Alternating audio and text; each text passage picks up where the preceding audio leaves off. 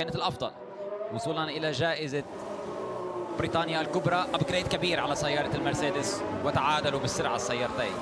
ولكن من جائزة البرازيل الكبرى حتى الآن الرتم لصالح فريق المرسيدس ولويس هامilton